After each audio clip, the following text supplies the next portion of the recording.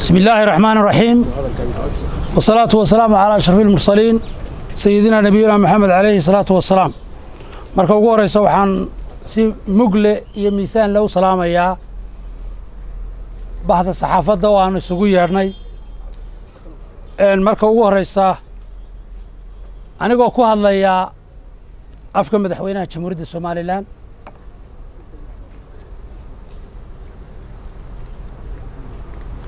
Waxaanu aqoonsannahay dalka iyo dadku iyo ummadda reer somalilan inay leeyihiin xeerar iyo sharciyo iyo dastuur lagu kala dambeeyo.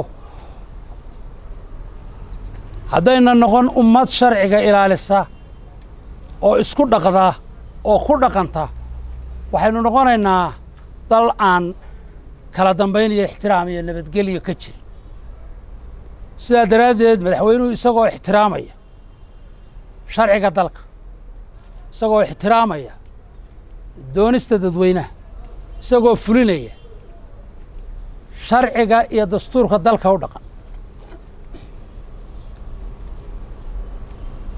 Waxaa uu aqoonsan yahay marka loo eego sida aynu hore u soo qaadannay xeerkii doorashooyinka dowladaha hoose iyo ururada in uu furan yahay ururada siyaasaddu. Ayuu aqoonsan yahay dad baa waxay odhan karaan ka jawaabi karaan saleebaan ma odhan jirin afka madaxweynaha ayaan ku hadlaya. Laakiin afka madaxweynaha waxaan ugu hadlayaa. Mararka qaarkood madaxweynuhu wuxuu leeyahay mas'uuliyad ka duwan ta golaha wasiirada iyo ta golayaasha kale oo ah inuu markuu la macaamilayo sharciyada golaha wuxuu awoodo gaara u leeyahay inuu si toosa isagu golayaasha kale ula macaamilo. Sababta aan ugu hadlayaa afkiisa sharciyanayna waa sidaa wey laakiin madaxweynuhu mar kastana xukuumaddii iyo golihii wasiiradana isagaa guddoomiye ka ah. Sida aada la wada socotaan. Xeerkan laba kun baa la sameeyey waxaana lagu sameeyey amadman laba kun iyo kow iyo tobankii xeerkaa markii la furayey ururada siyaasadda la kili anigoo golaha wakiilada ka tirsan waxaan ahaa guddoomiyihii dibufurista ururada siyaasadda ee somalilan waa lagu tartamay dowladihii hoosaa lagu tartamay waxaa soo baxay oo aan hore saaxadda ugu jirin xisbiga waddani. Waxaana quusay oo xaaladda ka baxay xisbigii da'da weynaa ee udub maanta haddii dowladaha hoose lagu tartami jiray maxaa maanta lagu tartamaya maanta waxaa toos loo gelayaa in ururada la doorto ee aan dowladihii hoose waa tii shalay lagu daray baarlamanka. Xeerka uu madaxweynuhu u gudbiyey ama qodobada uu madaxweynuhu u gudbiyey golaha wakiilada.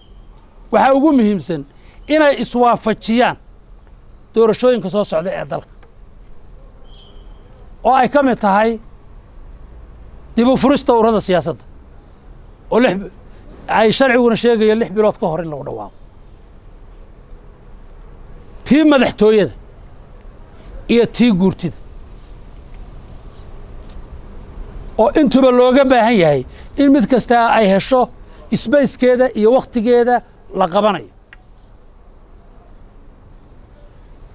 Ummadda reer somalilan meel kastay joogto waxaan u caddaynaynaa inaannu aqoonsannahay in furista ururada siyaasaddu ay sharci tahay. Aan muranno ka joogin. Xitaa golaha wakiilada xitaa golaha wakiilada maanta. Haddii ay arrintaa waxba kama qaban karaan waxay u taallaa. Haddii laysku qabto maxakamadda dastuurigaa ayay u taallaa. Laakiin xeer fordhin wuxuu jidaynayaa in tobankii sannadoodba mar la furo ururada siyaasadda.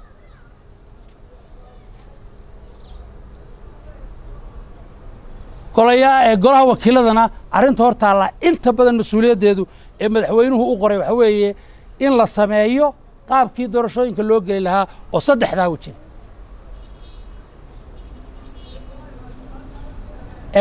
soomaalidu waxay ku baadaa ninkii baanaayow lagu fasax dad badan ayaa doorashada iyo in urura la furo iyo waa kan iyo nin keliya iyo ururadu dimuqraadiyad maaha iyo kanay joogtaa iyo saddexda xisbi saddex nin baa hor fadhiya wax badan bay ereyada somalilan afkooda ka soo baxda ninkii awood haya iyo ninkii tartamaya waxay la tahay doorashada doorashada waayo arag baynu una ninkii waktigeeda iyo waayaheeda u badrheerhaya waa u furan yahay waddadu. Iyadoo qof kastaa uu raacayo dastuurka dalka iyo sharciga dalka. Cidda keliya ee wixii awooddoodii dhulka dhigtay isagoo madaxweyne ah guddoomiyennimadii xisbiga dhulka dhigtay madaxweynenimadii dhigtay ee badda dhigay ila dadka kale suuqay joogeenoo waxma hayni waa madaxweynaha jamhuuriyadda somalilan iyo xisbiga kulmiya ya. Annagoo golaha wasiiradana hadduu naga yeelayo madaxweynuhu madaxweyne badda hayna ka dhigin baan oon lahayn aynu maad aynu maalmo iska sii joogno.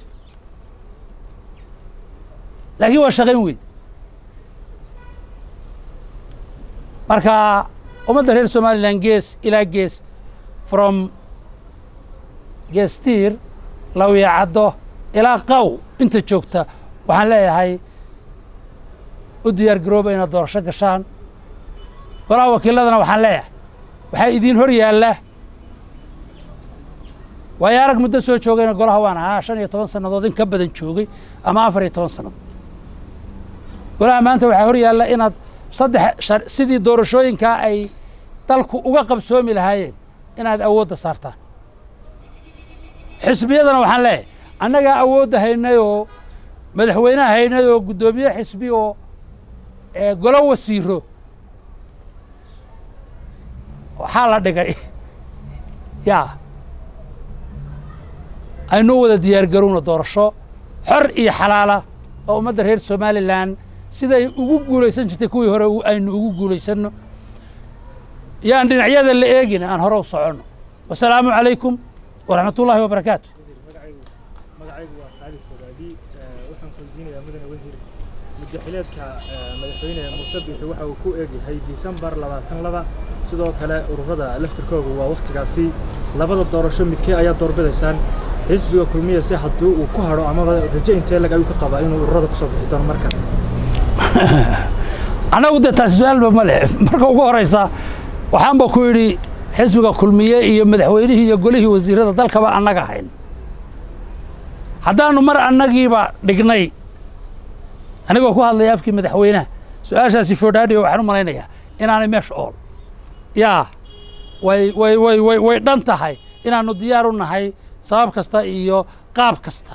Sababtoo ah annagu waxaanu maanta nahay waayeelkii jamhuuriyadda somalilan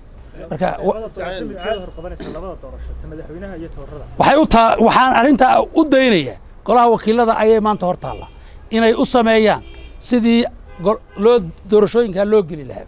Sacaad wasiir qodobada uu madaxweynuhu soo qoray ee saddexda qodob ka kooban uu xeerkan markii hore uu ku soo celiyey waxaa ku jira in arrintani ay ka hor imanayso doorashooyinka dastuuriga oo golihii guurtida ka mid tahay golihii madaxtooyada arrintaasi miyaanay caqabad waa ta uu kaga hadlayo ee ah inay iswaafajiyaan sharciyan.